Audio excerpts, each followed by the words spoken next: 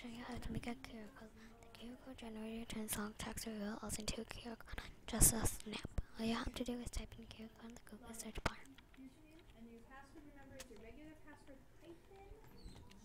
and click on the fourth link. Now you just have to click on what kind of text you're trying to QR code. All you have to do left is type or paste in your text. And here's the QR.